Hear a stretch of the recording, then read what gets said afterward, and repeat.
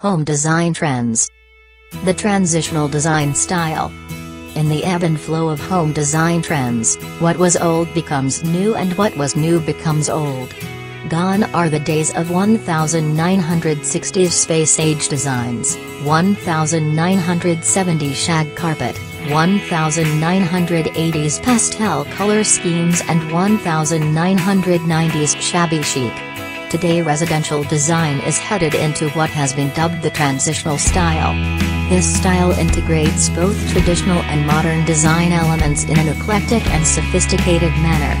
This design trend is gaining immense popularity especially in the area of bathroom design where vintage hardware and lighting fixtures are intertwined with smooth linear tiles and sleek glass finishes. Take for example this master bathroom renovation completed in November of 2012. The bathroom remained mostly as it was originally designed in the 1960s with some wall color, linen and lighting adaptations.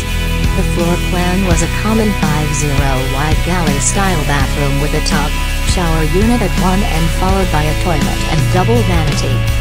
The floors had 3 fourths square tumbled beige mosaic floor tile with glossy 4 inches square ivory tiles at the base and surrounding the cast iron tub. The site-built cabinets were 31 inches high with a plastic laminate top adorned with flecks of gold and metal-rimmed sinks. Above the vanity hung a full-width mirror with standard vanity lights mounted from the wall and a ceiling fan which was added to provide some air circulation in a space with no exhaust fan. Despite the homeowner's attempts to make the most out of the existing space, they realized the only way to truly get the updated bathroom they desired was to start over.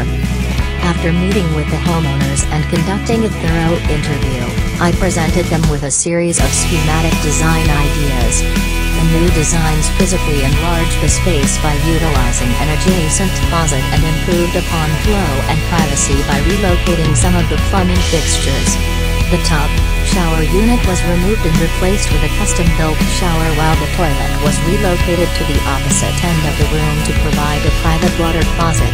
The vanity and sinks were centered between these two fixtures. The existing entry door which was less than 2-0 wide was filled in and replaced by a wider pocket door that was added to the center of the space. I custom designed the new cabinets to provide the proper height for the clients who were concerned with aging related issues while also providing creative storage solutions for grooming supplies and ample space for linen and pull-out hamper storage.